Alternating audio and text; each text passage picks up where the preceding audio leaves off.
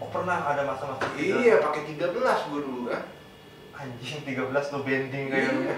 Dari tahun 94 sampai 2008 gue pakai 013.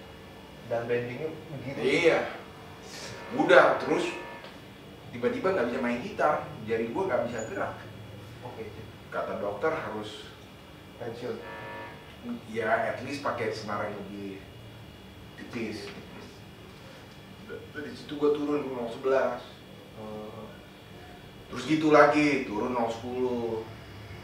Terus mulai gitu lagi, turun 09. Ah udah, di 09 gue udah nggak aman, aman, aman. aman.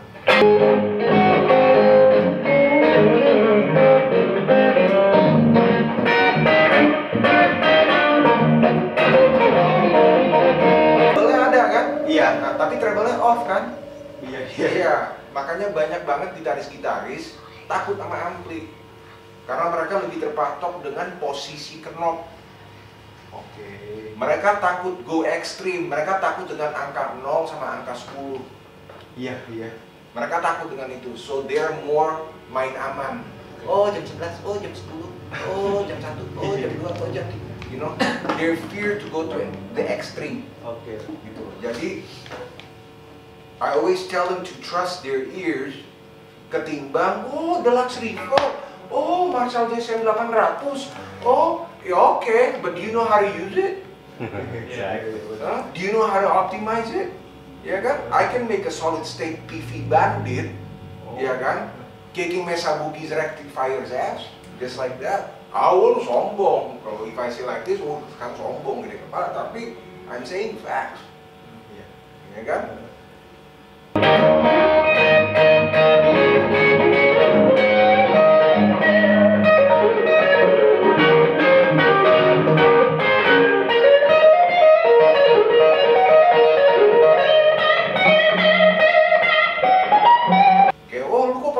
keyboard bisa kayak gitu JT45 gua nggak bisa kayak gitu. Ya itu have to trust your ears. Karena kadang kadang gini loh. Kadang ada ampli yang bass lu cut middle lu cut treble lu cut master volume lu pompa. Ya jadi sometimes you have to Experiment. not just experiment but go outside the box and see. Oh coba begini jadi lu tantang ampli itu mesti ditantang you have to check even if it's a boutique amp mau dia ampli seharga 100 juta uh, challenge it man. Gitu loh. Makanya that's what I always tell to Dewa Bujana, to Yanantono, to E. Carani, I mean, why you need a specific amp? Like you can, you can pump any amps,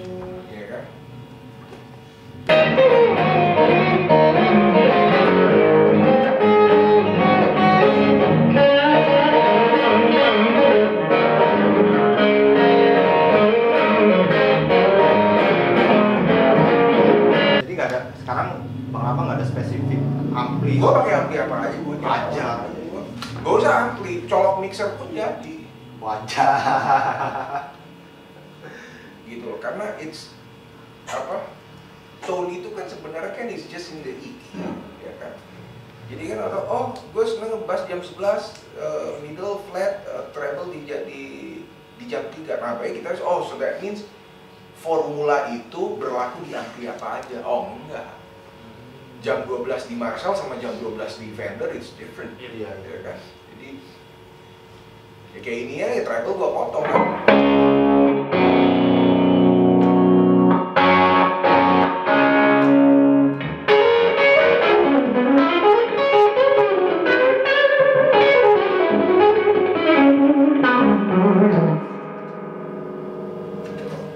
Tapi kalau dilihat secara EQ, oh, kok EQ-nya gini sih? Kok middle-nya di full, treble dimatiin? Terus kok bassnya cuma dikit doang tuh? Tapi ya itu. Jadi it's not selalu by the... Mereka selalu gini. Apa? Oh jam 10, jam 11, jam 12, jam 1, that's the, that's the wajar. That is the wajar, saya. They stick to the wajarness. Depannya. You know, not to the extremeness. All mati Udah di depan ya? tidak ah.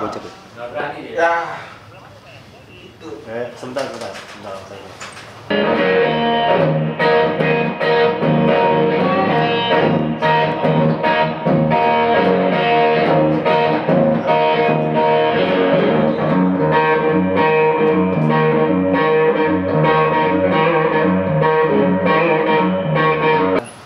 Sama dan itu juga berlaku bukan untuk gitaris atau basis aja berlaku juga buat sound engineer juga.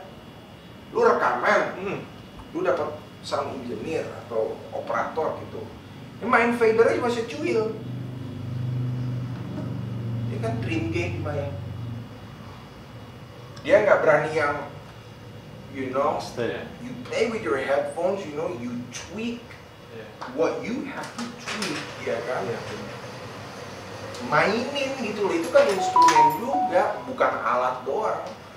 Ya kan? Gitu loh. Ya itu tuh kadang-kadang gue suka suka gatel aja iya apalagi kalau live itu fader tuh zigzag. Ngerti nggak sih? Ada yang di sini adanya harusnya tuh live zero dB semua. Harus rata. All in zero dB lu main di mana? Lu main di trim ini malah enggak trimnya di flatin semua dimainin fader yang enggak ini lah Nggak enggak ada punch-nya.